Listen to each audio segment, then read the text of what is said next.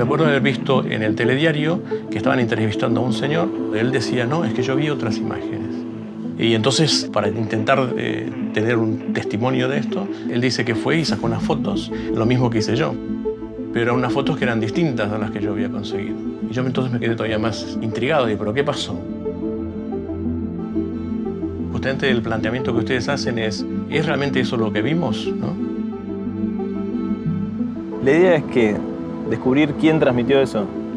Sí, o ¿Y sea, por qué? ¿O para qué? ¿no? Aquí me da la sensación que hay un grupo de personas con una intención muy clara de que esto como era un acontecimiento tan importante y podía llegar a fallar, si lo llevaba era una bomba, ¿no? Nos podemos proponer objetivos, pero te tiene que perseguir la cosa. Hay cosas que no te dejan dormir. Este hombre estaba en el lugar indicado en el momento oportuno con una modesta tecnología que le permitió ver algo que no debía haber visto.